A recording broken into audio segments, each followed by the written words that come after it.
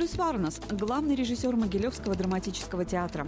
Родился в Литве, работал в разных театрах мира, лауреат и дипломант международных театральных фестивалей и конкурсов.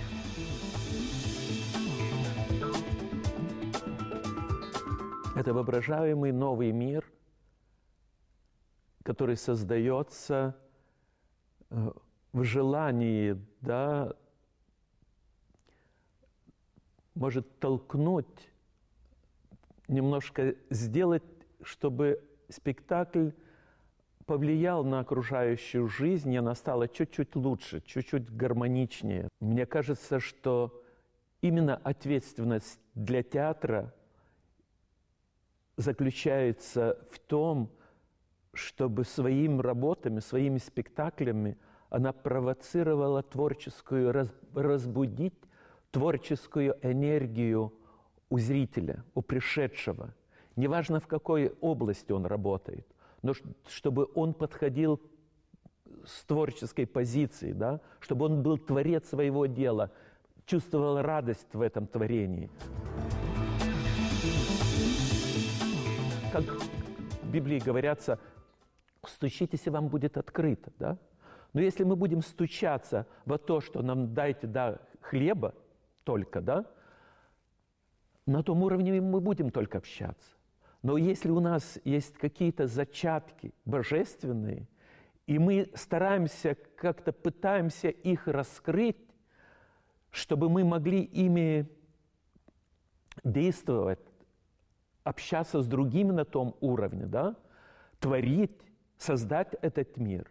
Если мы на том уровне будем существовать, жить, работать, да, мир изменится, он превратится в другое, да? Мы очень привыкли, приучены уже жить в суете такой, да? И нам очень трудно, если посмотреть, даже в деревню, если как бы все стремятся, но там два дня пробыв, думаешь, боже мой, а где жизнь, да? Как тут вернуться быстрее? Нам нужен телевизор, нам нужно радио, нам нужен телефон. И без всего того, нам кажется, нельзя жить. Но я взял на несколько дней и все отключил. И понял, как это прекрасно, да?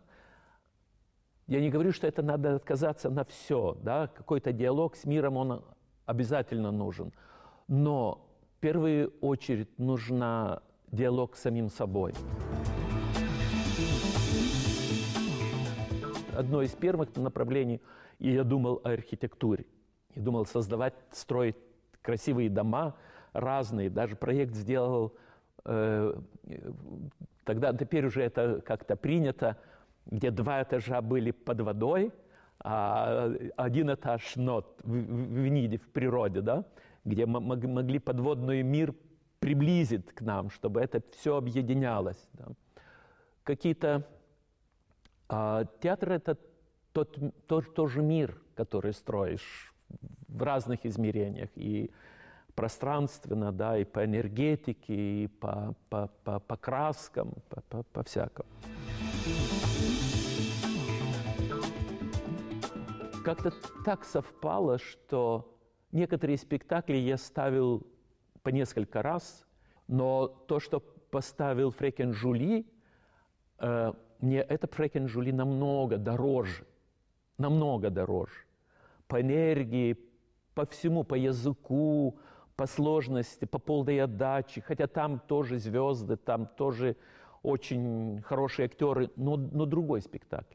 Как-то актеры Могилева, да, и то, как складываются, мне, мне кажется, что это и разность какая-то немножко то, что есть в литовской культуре, то, что есть в белорусской культуре, в природе самой, актерской, да, оно дает хороший результат.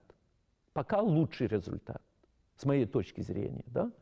И мне это как бы интересно, нравится, и, и как бы рождается мысль, а что еще можно, что еще, каким образом можно открыть, сказать, рассказать какие-то вещи и, и прозвучать. В Испании поставили спектакль, где вышли все голые, перед зрителем, да, все, девушки и мальчики там, да, все с помидорами и начали, а, а зал среагировал, говорит, что ты реагируешь, и бросили помидоры ему, и начал вообще раскидывать всех, те начали гвалт, да, а дверь закрыта, выйти никуда, а когда на сцену, а занавес закрылся, и они там разобраться, а потом начался спектакль, да, на какие-то тонкие вещи, но вначале их там расшатали хорошо, да, а потом с ними поговорили о жизни, да, ради чего жить-то. О, есть фантастический поэт такой китайский Либо. У него есть фантастичные стихи. Там на горной вершине, ночую в покинутом храме, к мерцающим звездам могу прикоснуться рукой. Боюсь разговаривать громко своими словами, я жителей неба не смею тревожить покой. Мы, мы все звезды. В смысле, каждый человек в себе это имеет. Мне нравился один профессор, который писал студентам своим высшую оценку всем. И его спрашивали, говорит, и вот мастер говорит, ну как понять? И тот знает столько, и тот, это ведь не, совсем не так. Но говорит, ну те, кто знает, говорит, ну я ими пишу. А те, кто не знает, говорит, они в будущем уж знают. Это однозначно то же самое. И так далее. Так что у них есть все в зародыше, если им будет надобность это. Когда я учился на актерском, я учился одновременно и в политехническом институте, и там было очень много заданий, и я не мог плохо учиться там – и так далее. И в актерском мне еще роль дали большую. Я, я, я мог спать 4 часа. Больше я не мог позволить. И это было мало. И я днем спал 10 минут. Но я настолько научился, что я, если закрываю глаза, все, сон сразу идет. И слышу окружность всю, да. Это, это все можно очень подготовить. Скажем, Бенуэль во сне писал все свои сценарии. Он как лев в прямом смысле, 20 часов спал в сутки. И потом 4 часа он записывал, да? Сценарии, как это, так далее. Он снимал кино. Это, это и так далее. Но природа наша не расположена так. Человек не должен спать долго, как и мало тоже. Очень часто видишь тех людей, которых много денег, насколько они больны – от этих денег, потому что они принимают больше, нежели надо. Но есть люди, которые понимают и себя ограничивают, да, но чаще всего, да, вот именно вот после советского периода, да, когда оказалось, когда пришло очень много всего, ах, и этого хочется, и глаз это хочет, и так далее, и так далее, от всего этого надо освободиться, не надо стать, это очень опасно, да, стать рабом материи. Э, это, это не очень хорошо. Я не очень за то, что будьте все равны и так далее. Но, но если спросить, я бы был бы за то, что каждый человек получал, сколько ему надо. Да? Но он должен честно трудиться. Да? Я не был в коммунистической партии никогда, да? Э, но я считаю, что художник не, не должен принадлежать никакой партии. Он должен быть свободный. Да? Но коммунизм – идея вообще неплохая, хорошая, и я думаю, пройдет время, как-то эта идея опять заработает. Как говорю, не, все, не с первого раза мы в космос полетели, и не с первого раза мы от Земли, от, от, от сколько разбились, пока мы э, полетели хоть несколько сот метров, да, так далее. Так что и это главная идея. Для меня Э, стал большим примером, как бы заразительным примером монах, которому 106 лет, и которое тело работает так, что я могу только позавидовать. У меня тело так не могло работать, даже я не думал. Молодость, что я когда бы мог бы такое вытворить, что он делает в свои в 106. Да? Полон энергии. Да? Вот, но как, мы много делились там и говорили и так далее, и так далее. Но он в Индии, да, он э, это в горах Гималаев и так далее, это монах индийский в Рашикеше и так далее. Так что есть, но они этому жизнь посвятили. Они только этим занимаются 24 часа, да? Мы не можем это. У нас много выходит из стрессовых ситуаций, рабочих, и, и на в среде так. Но это жизнь.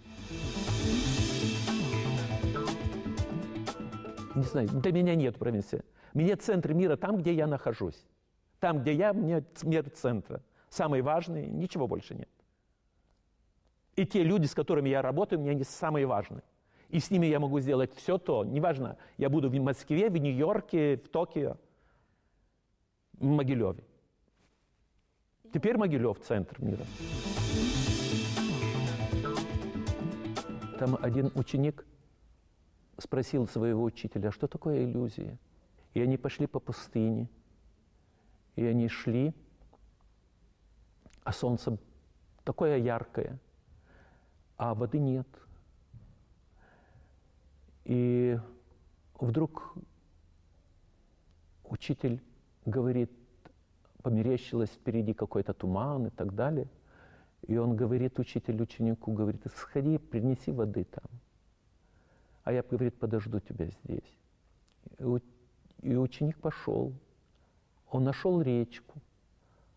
А около речки дом был. И открылась дверь. И он увидел прекрасную девушку – которая показала, что это девушка, которая рождена просто ему. Он говорит, решил, что он ничего больше не хочет ни знать, ни видеть. И он обратился к ней и попросил руки у ее отца. И они же поженились. И они счастливо жили. И у них родились дети. И так далее. Но одно время пришла гроза, и эта речка, которая текла, расширилась, унесла этот дом весь, и заливала всю часть пустыни, где они там находились. Он успел схватить одного из своего сына, второго, одного посадил на одном плече, другого на втором, жену схватил. Но вода настолько быстрая, настолько сильная, что оторвала и одного, и от другого, и все раскинулись, все унесли, и сам он очутился через некоторое время на берегу. Проснулся, и видит, никого нету и видит, что здесь рядышком его учитель. И учитель спрашивает, говорит, так где вода?